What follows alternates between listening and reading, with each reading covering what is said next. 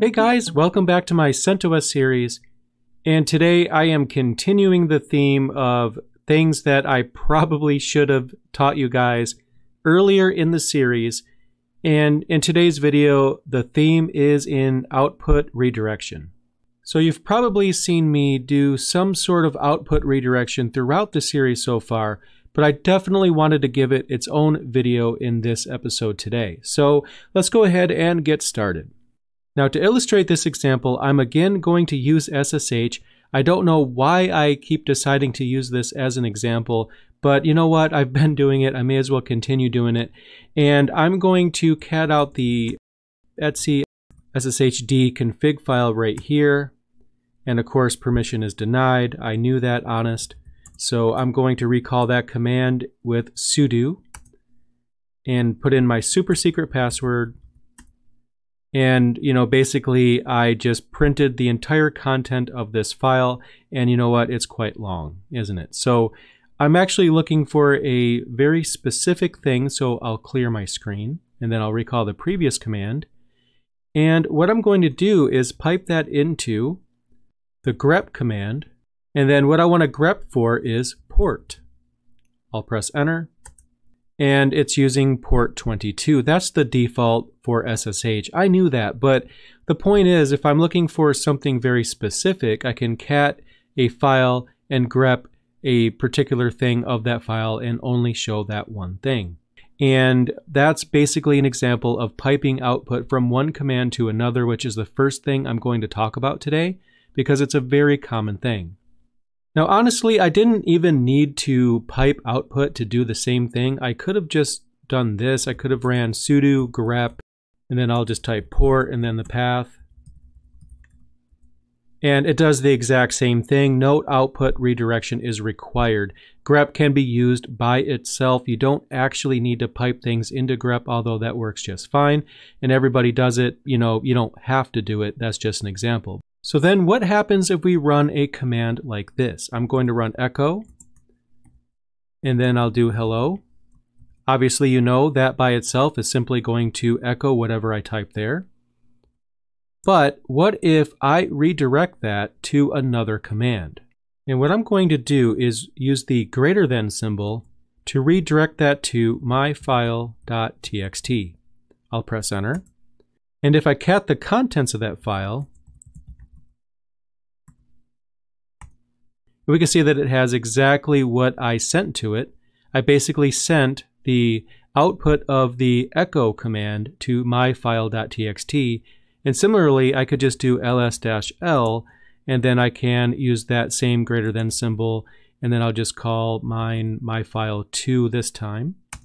And if I cat the contents of that, we have the output of the ls command in that file. So what happens then if I just run that command again and again and again and again and again a bunch of times, right? Well, let's see what happens. Nothing. Absolutely nothing happened. And the reason for that is because when we redirect the output of the ls-l command with a single greater than symbol, it's going to overwrite that entire file which is why you have to be very careful. If you were intending for the output to go to the end of the file and you wanted to preserve what's in the file now, well, you just blew it away. So that's the one important thing I want to tell you guys is always be very careful with output redirection because you can actually destroy very important files. But what I can do here is use two greater than symbols Now let's see what that file contains. And it contains the output that many times, as you can see. So that gives you an idea of overwriting a file versus appending. Again, if I was just to basically run this with a single greater than symbol, and then I cat the file, as you can guess, I blew it away, and it now only contains the output of that most recent command. Now, what this constitutes is actually the concept of streams.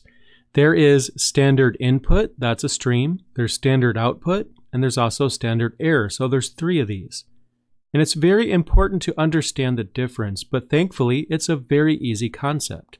Now, standard output is actually something that you guys have been using all along without even knowing it. So if I run ls-l, you know, as you already know, it basically just gives you the entire directory listing of everything in your current working directory. We've run this probably a hundred times by now, or at least it feels like it, but that's standard output. If you run a command and it prints something on your screen, it's standard output. It's that simple. So if I was to run again echo and then hello, the word hello is printed to standard output. Again, anything that's printed to your terminal is standard output. And then also, I mentioned in a previous video, if you echo dollar sign question mark, that gives you the exit code of the previous command, in this case zero. Zero means success. Anything other than zero is not a success. And this was a successful command because I simply told it to print hello to standard output, which puts it on the screen. It was able to do that, so that was a successful command, so it gets the exit code zero. Now, if I was to run this command again, echo hello, but I just fat finger something and I just don't type it correctly, well, let's see what happens. And you already know if you watched a previous video where I covered this, it gives me an exit code, in this case 127. It's not zero, that's failure. Now that's standard error. That was an actual error because the command is not found. And now what's confusing is it is being printed on the screen, so it is showing the results in standard output. So it basically showed me in standard output that, well, there was a problem, but this is standard output, but it's also standard error because there was an error. And if something is registered as an error, you can basically do something different with it, which I'm going to show you in this video, but I wanted to show you guys the difference. Now, when it comes to standard input, it's actually a little bit more challenging to show you guys because it's not something that we generally run on the command line, although we do actually use it every day. I'll explain. So anytime you are being prompted to enter some information, for example, when you run sudo, you are being asked to enter your password. You are entering your password standard input. Anything that's input from the user is standard input. It's information going in. Now, obviously, when you are just running simple commands, you usually won't redirect something to standard input. There are some examples that I'm going to give you that's going to show you what that actually looks like in practice. It's just not as common as standard output and standard error. Now, one example that I'm going to give you guys is MySQL dump. Now, I'm not going to give you guys a course on database administration or anything like that, but as a Linux administrator, you will most likely find yourself at some point dumping a database into a file and then restoring it. I'm not going to go over MySQL dump or even MySQL in its entirety or anything like that. I'm just going to show you what the command would look like if we were actually doing that. Now with the MySQL dump command, essentially you would have dash h and then you would have some URL to a database. Obviously this command won't work and you don't have to try it. I'm just showing you an example. You'll have a user and you'll have a password, but you don't type the password here. You don't want people to see it in the clear. And then basically you will give it a database name. And since we want to create a backup of a database, we will use standard output, a single greater than symbol. And then we will call it something like mydb.sql, for example. And you know, just so you know, you don't actually need the space here. It works without that. It just is seen as cleaner by some people, or maybe most people, or some number of people, that it just looks easier to read this way. So that's why people put a space there. But essentially, this is just an example command. And right now we are illustrating standard output because we have a database and we're going to connect to an external database. I type the URL here, whatever that is, the password, or excuse me, the user, and then dash P means I intend to type a password. It will ask you for the password, which is another example of standard input because it's asking you for something and then the database name, the one I want to back up, and then I'm going to redirect it into a dump file. Now, when you want to restore such a backup, the command will look something like this.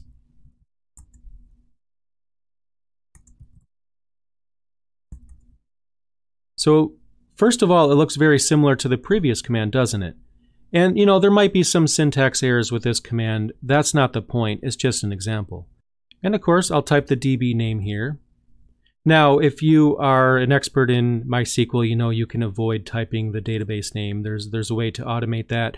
Not going there, but what we're going to use this time is standard input because I want to take the contents of a file and use that as input to the MySQL command. So that's when I use the db dump file, whatever I named it. And I already forgot what that was, but basically my db dump, whatever it is, .sql, whatever you named it. And basically what we're doing is we're taking the contents of this file, and this is the symbol for standard input. We're using this file, the contents of this file is input to the MySQL command, which connects with dash H for host, which, you know, you type the URL, uh, again, like I mentioned, the user, and you will type a password. So you just type P, it'll ask you for that.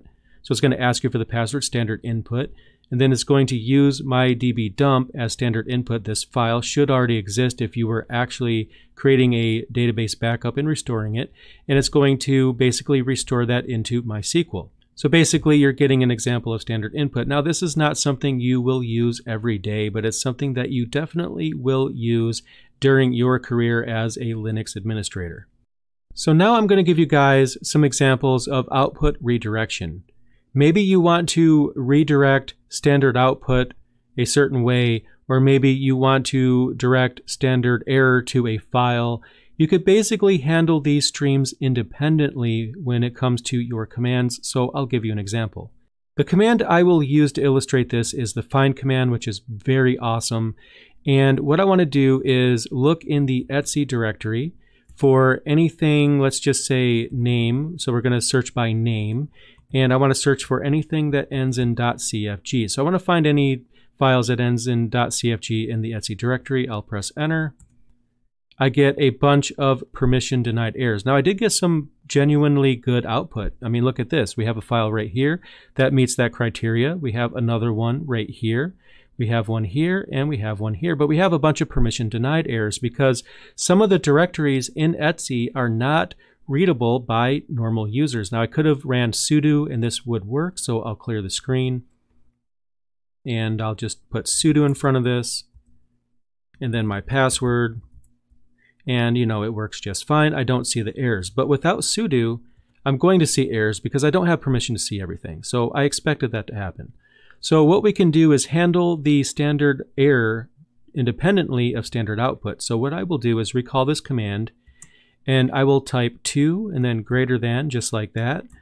And then I'll pipe that to dev null. I'll explain in a moment, but I'll press enter. And you know, I didn't use sudo. I did get my results here. So the command worked just fine. Now, obviously, I'm missing some information because there's some directories I don't have permission to search in, but I didn't get any errors. Why? Well, actually, standard error is designated by a 2. That's important to know when you want to redirect standard output, standard error, handle standard input. You want to know what the number classification is for each. And right here we can see that I was looking for 2. Like anything that is code 2, I want to basically redirect that to dev null. And dev null is like this place where anything that goes into it is never seen from or heard from again. It's basically the same as deleting something. So if you redirect something into dev null, it's just gone. Now similarly, standard input is 0, standard output is 1, and again, standard error is 2. So this allows us to do basically anything we want to separate standard output and standard error. Again, I have this command right here. I could redirect this over to, let's just say errors.txt, for example. I'll press enter. And again, we get the actual results, but if I cat the contents of errors, we can see that those are the errors that I would have received on the command line or in standard output. I would have seen those errors had I not redirected standard error somewhere else. I redirected standard error to go into errors.txt rather than being printed on the screen because I didn't want to see those errors. I just wanted to see the good information, but I still wanted to make a note of the errors in case I felt like maybe um, those do matter and I do want to investigate that a bit, I could actually see, well, what wasn't included in the search. And I know that because I have that in errors.txt, so I can refer to that now. So it's really important to know how to differentiate standard input and standard error. Now, let's go ahead and try a different example here.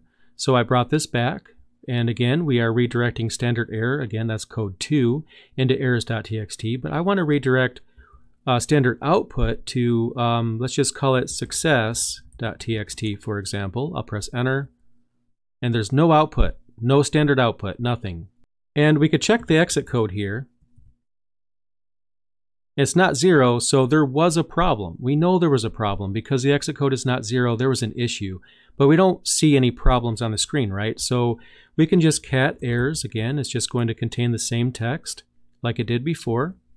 And then we can also check the contents of success and it's going to show the ones that were successful. So I was able to split the errors into a file and then the successful output into its own file. So I can basically separate that however I see fit.